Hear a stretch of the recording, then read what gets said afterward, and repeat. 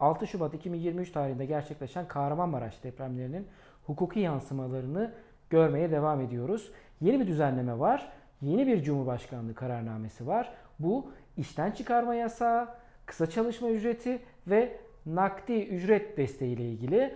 Bu videoda bu konulara değineceğiz. Acaba detayları neler? Bunlara bakacağız. Covid-19 salgını kapsamında yapılan düzenlemelerle çok ortak yönleri var ama ayrıştığı yönler de çok fazla. Öncelikle olağanüstü hal ilan edilen 10 ille sınırlı olmak üzere bazı şartlarda işten çıkarma yasağı, kısa çalışma ödeneği ve nakdi ücret desteği konusunda düzenlemeler var. Dolayısıyla Covid-19'da bildiğiniz gibi salgın pandemi döneminde tüm Türkiye'yi kapsıyordu. Burada sınırlı olarak uygulanacak düzenlemelerden bahsedebiliriz. Şimdi isterseniz öncelikle kısa çalışma ödeneği ile başlayalım. Kısa çalışma ödeneğine ilişkin düzenleme diyor ki olağanüstü hal ilan edilen 10 ilde bakın yine bu 10 il üzerinden gidiyor. Örneğin Elazığ'da bildiğiniz gibi depremin etkisi görüldü ama Elazığ bu kapsamda değil. Veya Sivas'ın Gürün ilçesinde depremin etkisi görüldü. Hatta mücbir sebep ilan edildi ama o da yine bu kapsamda değil. Sadece 10 ille sınırlı olmak üzere ve bu 10 ilde de aslında bütün il ve ilçeler olmayabilir.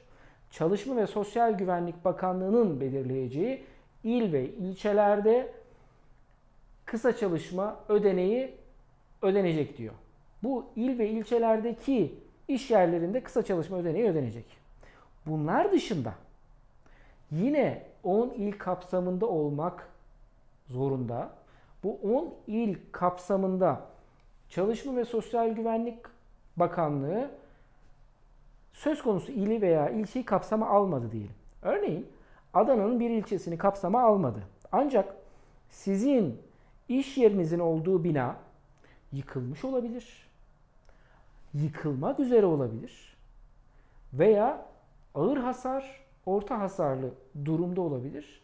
Bu durumlarda da siz özel olarak başvuru yaparak yine kısa çalışma ödeneği isteyebilirsiniz. Kim yapacak kısa çalışma ödeneğinin başvurusunu? İşveren yapması gerekiyor. Buradaki prosedür bayağı azaltılmış durumda. Normalde kısa çalışma için ciddi bir prosedür var. Bu prosedür uygulanmayacak. Acilen ödemeler yapılacak. Peki süre ne kadar süre kısıtlaması? Düzenlemenin kendisinden kaynaklı olarak olağanüstü hal süresiyle kısıtlı olacak. Olağanüstü halden alınan yetkiyle olduğu için ne kadar ödeme yapılacak, hangi miktarda, tutarda ödeme yapılacak? Burada da bürüt ücretin, asgari bürüt ücretin e, tutarının %150'sinden fazla olmamak kaydıyla söz konusu işçinin ücretinin %60'ı ödenecek. Aslında biraz pratik yapalım isterseniz. 10.008 lira asgari bürüt ücretin tutarı. Bunun %150'sinden fazla olamıyor. Yani aşağı yukarı 15 bin liradan fazla olamayacak bir ödemeden bahsediyoruz. Bundan fazla olmamak kaydıyla işçi ne kadar ücret alıyorsa, brüt ücret bakımından yalnız, ne kadar ücret alıyorsa o ücretin %60'ı ödenecek. Pratikte şöyle söyleyelim 2023 yılı için şu anki asgari ücret için söyleyelim brüt ücret için. 25 bin liraya kadar ücret alıyorsa brüt ücret olarak o brüt ücretin %60'ı ödenecek. Eğer o 25 bin liralık sınırı geçiyorsa bu durumda sadece 15 bin lirayla sınırı olmak üzere bir kısa çalışma ödeneği ödenmesi söz konusu. Önemli bir detay. Bu salgın döneminde, pandemi döneminde de olmuştu. Bu kısa çalışma için ödenen para, ödenek nereden ödeniyor? İşsizlik ödeneğinden ödeniyor. Dolayısıyla aslında devletin işçilere ayrıca ödediği bir paradan da bahsetmiyoruz. O işçi işsizlik ödeneğindeki hakkından yiyor diyebiliriz açıkçası. Peki böyle olmayabilir mi? Yani kısa çalışma ödeneği işsizlik ödeneğindeki hakkından mahsup edilmeyebilir mi? Düşmeyebilir mi işçinin? Evet bu mümkün. Bir Cumhurbaşkanı kararıyla bu yapılabilir ve depremzedeler için ödenecek kısa çalışma ödeneği işçilerin işsizlik ödeneğinden mahsup edilmesin denilebilir. Kanun bu yetkiyi vermiş durumda. Umarım Cumhurbaşkanı bu yetkiyi kullanır en azından depremzedeler için. Bir diğer önemli düzenleme ne? Nakdi ücret desteği. Nakdi ücret desteği içinde şunu söylüyor kararname. Kısa çalışma için belirlenen kriterler var. Bu kriterler biraz ayrıntılı işte prim gün sayısını tamamlamış olma vesaire. Bunları ayrıca bağlantı olarak bırakalım isterseniz. Videoda çok da bu detaylara girmek doğru olmayabilir. Eğer bu şartları tamamlamamış işçiler varsa kısa çalışmadan faydalanamayacaksa bunlara nakdi ücret desteği sağlanabiliyor. Her bir gün için 133 lira 44 kuruş olarak bu nakdi ücret desteği sağlanacak. Nakdi ücret desteği sağlanmasının bir de ikinci ihtimali var. Bu ikinci ihtimalde de deprem nedeniyle iş yerinin kapatılması ya da kapanması durumunda yine nakdi ücret desteği alabiliyor. İşçi yine 133 lira 44 kuruş günlük ödenecek tutar. Şimdi çok tartışılacak bir başka konuya gelelim. Deprem nedeniyle olağanüstü hal ilan edilen illerde işten çıkarma yasağı. Bir başka deyişle işverenin iş akdini feshetme yasağı düzenlemesi getirildi. Şimdi az önce kısa çalışma için dedik ki 10 il sınırları dahilinde Çalışma ve Sosyal Güvenlik Bakanlığı bazı il ve ilçeleri belirleyebilir, diğerleri kapsam dışında kalabilir. Ama işten çıkarma yasağı fesi için böyle bir şart yok. İşten çıkarma yasağı 10 ilin tamamında geçerli görünüyor Cumhurbaşkanlığı kararnamesi gereğince. Dolayısıyla Adana'da da, Osmaniye'de de, Kilis'te de yine aynı şekilde Gaziantep'te, Hatay'da, tabii ki Maraş'ta, Malatya'da tüm bu olağanüstü hal ilan edilen 10 ilin tamamında işten çıkarma yasağı söz konusu. İşten çıkarma yasağı nedir? İş akdinin işveren tarafından feshedilmenin yasaklanması. Bunun istisnaları var mı? Var tabi. 4 istisnası belirlenmiş kanunda. Yine salgın döneminden hatırlayacaksınız ki bu düzenleme salgın dönemindeki düzenlemenin birebir aynısı zaten. Hatırlayacaksınız. İş Kanunun 25. maddesinin birinci fıkrasının ikinci bendi vardı. Yani ahlak ve iyi niyet kurallarına aykırılık sebebiyle işveren işçinin iş akdini feshedebiliyor. Bir diğer istisnası şu, belirli süreli bir iş sözleşmesi varsa yine iş akdinin feshedilmesi yani işveren tarafından işten çıkarma tek taraflı olarak mümkün.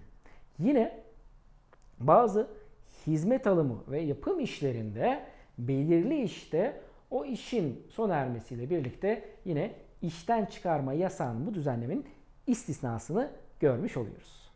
Sonuncu istisnaya baktığımızda işten çıkarma yasağının iş yerinin kapanması veya faaliyetin sona ermesini görüyoruz.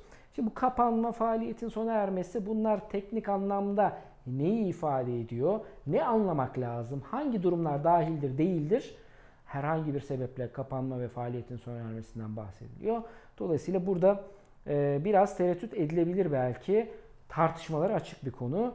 Bunu önümüzdeki dönemlerde daha detaya girdiğimizde inceleyebiliriz belki. Bura biraz tartışılacak gibi görünüyor. Bir diğer tartışılacak mesele işten çıkarma yasağı var evet ama yaptırımı ne? İşveren işten çıkardı yine de işçi diyelim. Ne olacak? Bir aylık asgari ücretin brüt tutarı kadar bir idari para cezası uygulanır. Ne kadar yani şu anda? 10.008 lira. Şu an itibariyle Şubat 2023 itibariyle 10.008 liralık bir idari para cezası ödenecek. Ya bu da çok yaptırım, çok da caydırıcı değil gibi geliyor. Dolayısıyla bu kısımda tartışılabilir. Yani işveren ben bu para cezasını ödeyeyim, işçiyi işten çıkarayım diyebilir gibi görünüyor ilk aşamada. Orada da şöyle bir durum söz konusu. Bizatihi tarafımızdan takip edilen davalarda da yine aynı şekilde bölge adliye mahkemelerinin kararlarında da gördük bunu. Salgın döneminde işçi işten bu şekilde çıkarıldığında, yasak olmasına rağmen çıkarıldığında bu iş akdinin sonlandırılması yani işverence fesli ya haksız ya da geçersiz olarak kabul edilip işçiye eğer işe iade gereken bir e, kurumda çalışıyorsa, işveren söz konusuysa işe iadenin şart, diğer şartları oluşuyorsa işe iade yönünde hüküm verebiliyor mahkeme ve veya iş kanunundan kaynaklanan tazminatları da hak edebiliyor. Yani idari para cezasını öderim, işçi de işten çıkarırım, hiç de bir şey olmaz dememek gerekiyor. Bu işten çıkarma yasağı olan bölgelerde iş kanunundan kaynaklı iş mahkemesinin işe iade ya da tazminata hükmedebildiğini görebiliriz. Bununla ilgili bir değinmek gereken konuda şimdi örneğin Adana'da evet şehir bu depremi yaşadı, hissetti ama iş yerlerinde yıkılma durumu olan, yıkılma tehlikesi altında olan ağır, orta hasarlı olan belki de o kadar fazla işletme, iş yeri yok. Faaliyetlerine devam edebilecek durumdalar. Dolayısıyla deprem nedeniyle olağanüstü hal ilanında eğer kısa çalışma ödeneği bakımından istisna tutma mümkünse bazı ilçeleri, illeri yine işten çıkarma yasağı bakımından da bunların istisna tutulması gerekebilirdi. Burada belki bir yine tartışmaya açık konu söz konusu. Deprem nedeniyle yapılan hukuki düzenlemeleri incelemeye devam edeceğiz. Diğer konularla birlikte takipte kalın, abone olun. Görüşmek üzere.